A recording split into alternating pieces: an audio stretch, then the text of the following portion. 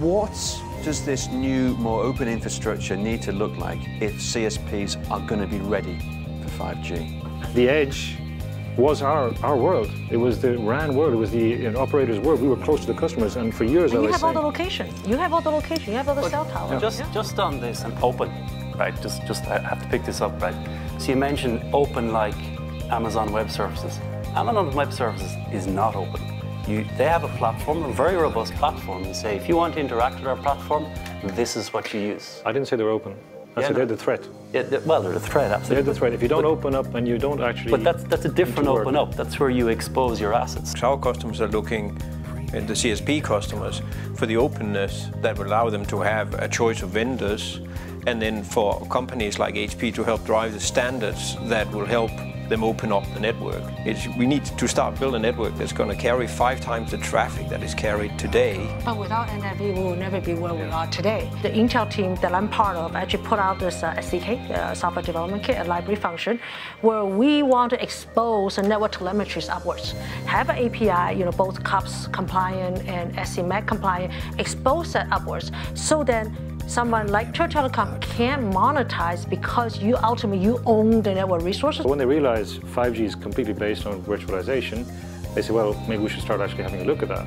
5G is actually driving the uptake of NFV and operators. The reason that the GSMA Association is having an event in the US, right, that to provide that level of openness so a Ford Motor Company or BMW can actually implement across all these geographies. Continuing the car analogy, you know, the brake is in the middle, the clutch is on the left, accelerator is on the right, if you have a clutch.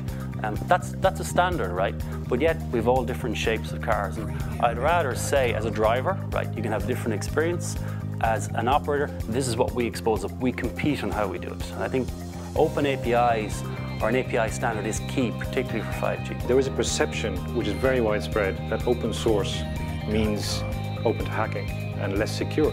Is it more secure? Is it, is it more open to hacking if it's a closed software development where nobody really knows what the source code, you don't even know if that source code is what you have? I think if we're going to take it to the extreme, I would like for Intel to publish their chip designs so others can build an Xeon. That is not so different from demanding open source, right? How far do we go? How can we exploit what assets we have? And that, for me, is not necessarily about opening the, you know, Intel's chip designs. Yeah, just publish them on the web. Off you go, right? It's not about that. It's about if you take what Intel done way back, say, here's, here's our x86 architecture. Here, if we've evolved it to x64, it's very, obviously, and to do way more than that, but that's how it evolves. I think that's what CSPs have to do, and that's the asset to expose. You got the, the current version, the Release 15, which is based about enhanced mobile broadband. That is the traditional you know, cake of the, of the operators, and that will move ahead, that will be launched, that will carry on going, but it's not a revolution. So that's the big opportunity. Let's work on that URLLC standard for Release 16. Let's all get involved with the trials. Let's work out how we monetize it. And the only way you can do that is with real field trials. Building on everything the panel has said so far is that we should just be ready, if it is the next Pokemon Go, that we're not caught catching up, and it should be Pokemon Go on our platform.